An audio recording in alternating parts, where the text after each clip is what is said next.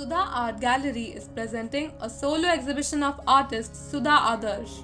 Sudha Adarsh, an artist, has always been an epitome of dedication along with unique creativity for art. A person who truly has an invisible magic wand that brings out brilliance with beauty in her every artwork. Color has always fascinated her as she thinks that each color and its combination speaks every emotion, like happiness, warmth, strength, serenity, and many more. Sudha's paintings are an expression of her inner feelings as well as an eye opener for every human. Sudha Adarsh, an individual with simplicity and strength, has selected a positive, tangible, and virile quality of Indian art that never loses its flavor of stroke and richness of color.